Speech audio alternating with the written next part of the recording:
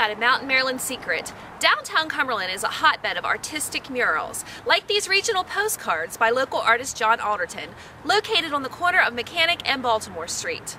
There's also one across the street on the side of the Cumberland Times News Building by John Alderton and Steve Fiscus, which depicts a vintage view of Cumberland's Baltimore streets. And we can't forget this mural